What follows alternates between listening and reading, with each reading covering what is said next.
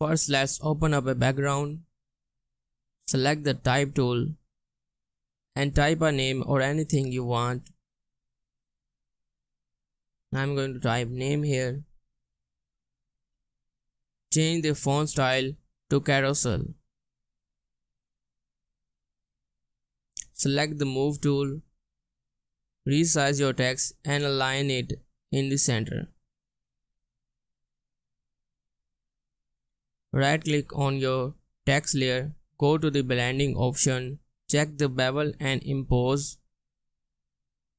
Increase the depth to 160 or 170 change the size to 70 or maybe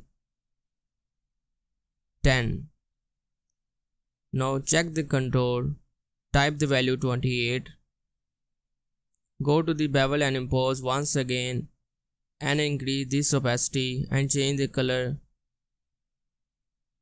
I'm going to set my color to green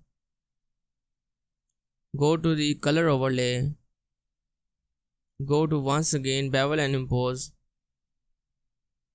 Click this and select this graph. Decrease this opacity or increase. Select the outer glow and increase the size. Decrease the opacity or maybe increase a little bit and change the glow color.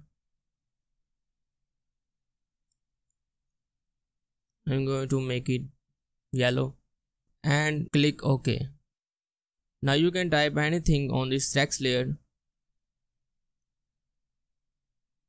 So I hope you guys enjoyed this video. Thank you so much guys for watching and I will see you guys in the next one.